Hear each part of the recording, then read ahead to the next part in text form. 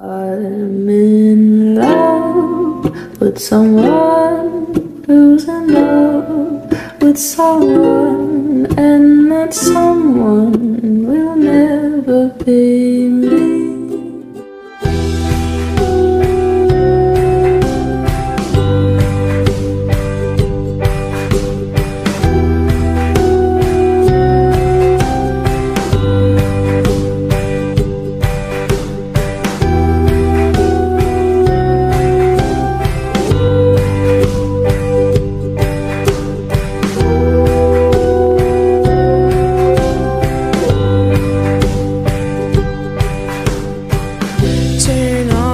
your porcelain.